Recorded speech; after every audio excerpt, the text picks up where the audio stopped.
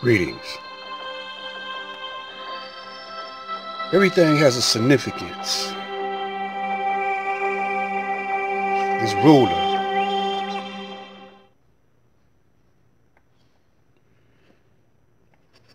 you see 12 inches.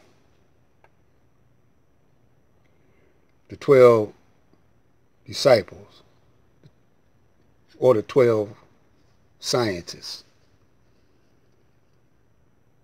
is in my hands, a black man's hands. I'm using it as a pointer.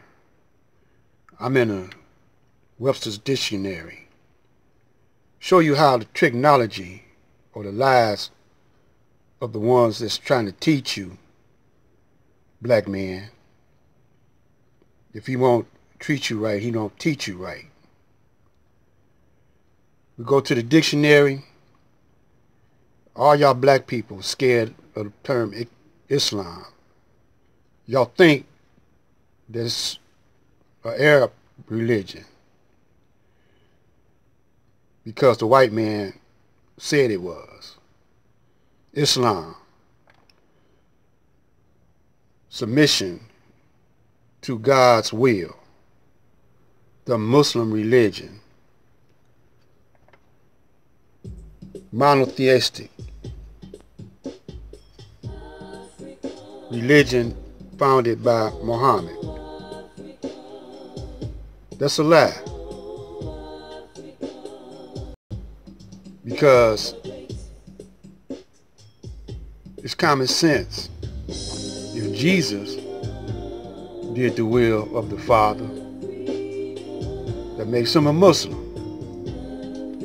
Word only meant means submission to God's will. It should substitute founded by revealed. He re it was revealed to Muhammad by Jibril, one of the messengers of Allah, or an angel. Angel only means messenger. Let's see what Israel means.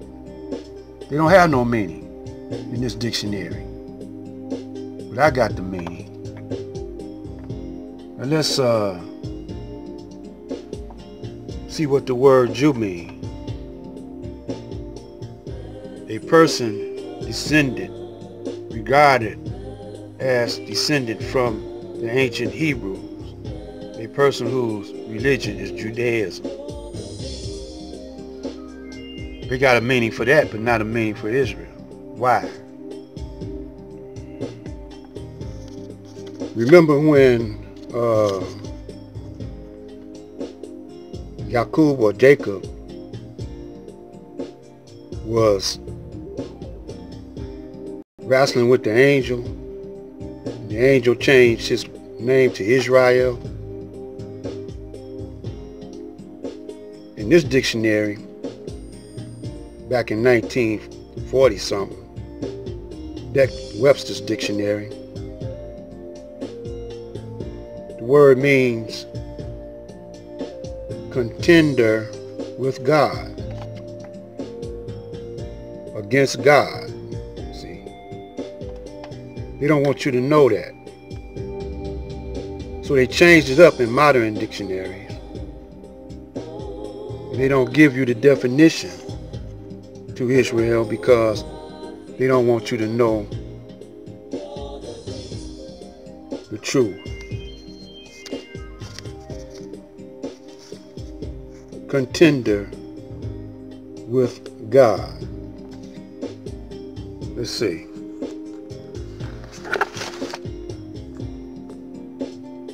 Old dictionary, man. I got this from a, a church. All white church. They were throwing it away. And uh, I kept it.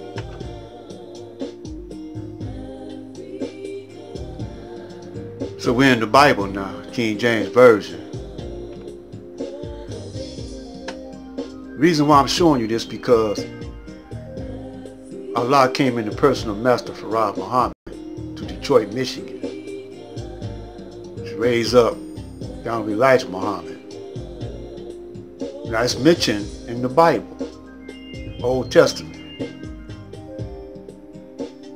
Behold, I will send you Elijah, the prophet, before the coming of the great and dreadful day of the Lord. Malachi 4.5 Why am I, I showing you this? Comparing it with Master Farad Muhammad because he came around around the time the stock market crashed. It's 2023. Same thing happening all over again. Bet. It's almost 67% of the street is betting that the Fed's going to raise interest rates 50 basis points. All of those variable rate loans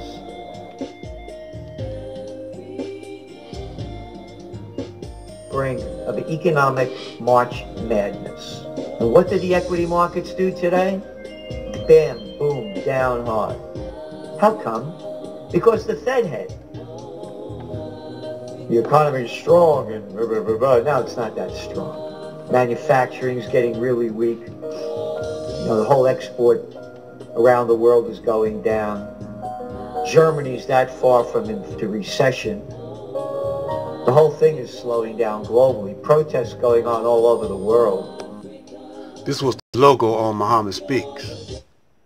It coincides with Malachi to turn the hearts of the fathers back to the sons and the sons back to the fathers. So he got us, he got us right here holding hands with Africa across the whole entire globe. So he came all the way from Arabia to Detroit to wake up the black man for what's going to happen. Let's look at this. Conspiracy, one of the darkest words in the language of man. Yet there is hardly a single page of history that doesn't partially reveal the deadly eye of conspiracy at work. It was a conspiracy that directed Brutus against Caesar in the Roman Senate on the Ides of March. It was a conspiracy that plotted the betrayal of West Point by Benedict Arnold during the American Revolution. It was a conspiracy that led John Wilkes Booth to the assassination of President Lincoln on Good Friday, 1865. The past record of man is burdened with accounts of assassinations, secret combines, palace plots, and betrayals in war. The tenet of conspiracy has been a dominant force in all history. So we want you to uh, stay tuned to be continued.